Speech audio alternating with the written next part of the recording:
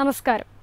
പ്രധാനമന്ത്രി നരേന്ദ്രമോദിക്ക് നന്ദി അറിയിച്ച യു എ ഇ ഊർജ മന്ത്രി സുഹൈൽ അൽ മസ്റൂയി ഗോവയിൽ നടന്ന ജി ട്വന്റി ഊർജ മന്ത്രിമാരുടെ യോഗത്തിനിടെയായിരുന്നു അദ്ദേഹം നന്ദി അറിയിച്ചത്.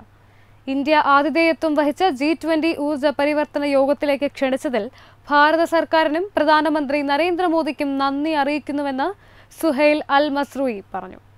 സുസ്ഥിരതയും ഊർജ പരിവർത്തനവും കേന്ദ്ര വിഷയമാവുന്ന യോഗത്തിലെ ആശയങ്ങൾ തങ്ങൾക്ക് ഉപകാരപ്പെടുമെന്നും അദ്ദേഹം കൂട്ടിച്ചേർത്തു.